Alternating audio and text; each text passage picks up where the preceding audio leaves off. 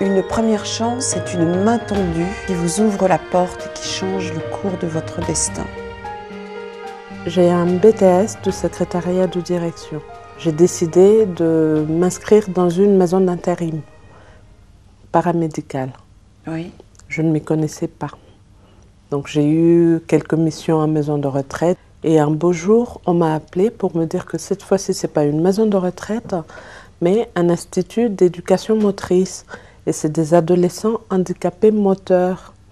Et là, je me dis, aïe, aïe, aïe, au secours, je ne connais pas ces publics. Qu'est-ce que je vais faire là-bas? Non, c'est une mission de nuit. Bon, euh, c'était pour une semaine, donc je suis partie. Et sur place, je rencontrais une infirmière d'un certain âge. On a travaillé deux jours et elle m'a demandé ce que je faisais dans la vie. Je dis, ben, je fais de l'intérim. Si ce poste euh, vous intéresse, ben, il faut postuler parce que la personne que vous remplacez, elle a été euh, licenciée. Je dis, ben, moi, ça m'intéresse. Je dis, bon, demain, je ferai mon courrier, je viendrai avec. Et là, elle me regarde, droit dans les yeux.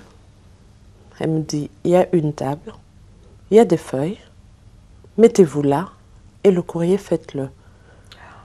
Je dis, mais je ne peux pas le faire tout de suite. Elle dit, vous avez toute la nuit pour ça. Qu'est-ce que vous allez faire d'autre? Et là, je me dis, bon, peut-être qu'il faut que je le fasse. Donc j'ai réussi à faire mon courrier. Je le lui étendu. Elle l'a lu. Elle me dit, c'est très bien. C'est moi qui le dépose. Quelques jours après, on me rappelle pour me fixer rendez-vous. J'avais le poste. Et c'est comme ça que je suis rentrée dans cet établissement où je suis encore jusqu'à ce jour, mais où j'ai pu évoluer parce que bon, le fait d'y avoir mis les pieds m'a permis d'essayer de, voir un peu plus loin. Donc aujourd'hui, j'ai pu faire ma formation d'éducatrice spécialisée alors que j'ai commencé veilleuse de nuit grâce à une infirmière qui m'a tendu la main.